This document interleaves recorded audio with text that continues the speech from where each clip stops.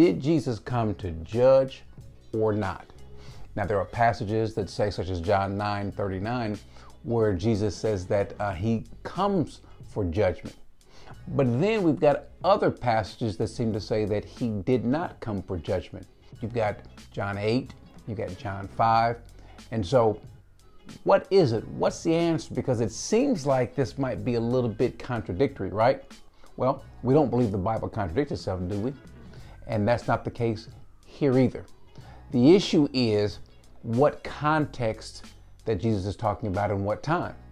For example, when he speaks in John 9 and he says, For judgment I have come into the world, as well as in John 5 when he says that uh, he has committed all judgment into my hands. He's not speaking about this current moment. He's speaking about what he's going to do at his next coming. But when he says, I did not come to judge, he's speaking about right now. What is what's at issue here is Jesus is speaking about the reason for his present, or at that time, his present coming. He's coming to save. Now, a byproduct of him coming to save is that people are going to be judged because of that. However, that judgment is not going to take place until later.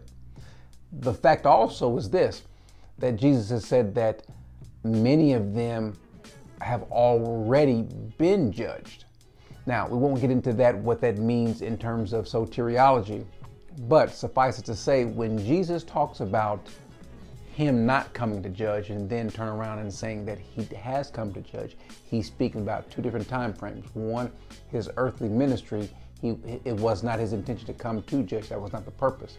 Now, did he make any sort of judgments on character or as far as sin is concerned?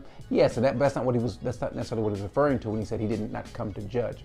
We'll all make those sort of judgments in terms of what sin is or if someone is involved in sin or ourselves. But then Jesus also speaks about when he comes the last time for judgment. That's not the judgment that you want to be a part of. Amen.